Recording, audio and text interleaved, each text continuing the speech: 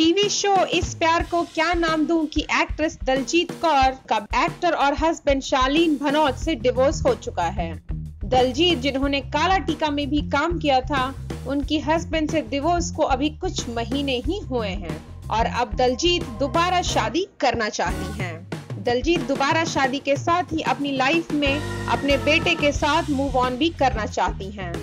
दलजीत के बेटे का नाम जैडन है फ़िलहाल दलजीत अपने बेटे के साथ रह रही हैं, मगर अपने लव लाइफ को दोबारा चांस देना चाहती हैं। दलजीत ने रिसेंटली करीब 13 के वेट लूज किया है और हाल में ही उन्होंने फ़ोटो शूट कराया था जिसकी पिक्चर्स इंटरनेट पे काफ़ी वायरल हुई थी दलजीत ने बताया कि वो पिछले दो साल से अपने बेटे के साथ अकेली रह रही हैं और उनका बेटा अब उन्हें बहुत अच्छे से समझता है इसलिए वो जल्दबाजी में कोई कदम नहीं उठाना चाहती। लेकिन उन्हें लगता है कि उनके बेटे को पापा का प्यार मिलना चाहिए।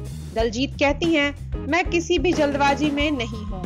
मगर क्योंकि अब मैं सिंगल हूँ, मैंने अपनी आँखें खुली रखी हैं। ताकि कोई भी मुझे अच्छा लड़का मिले तो मैं ना नहीं कहूँ। उसे पॉजिटिव होना चाहिए कंटेंट होना चाहिए और एजुकेटेड होना चाहिए। साथ ही साथ गुड लुकिंग और फिट और हेल्दी भी। Well we hope that actress will meet her mister right फ़िलहाल रिश्ता टीवी का में इतना ही। अपने पसंदीदा सीरियल्स की एडवांस खबरों के लिए आप करें चैनल को लाइक शेयर एंड सब्सक्राइब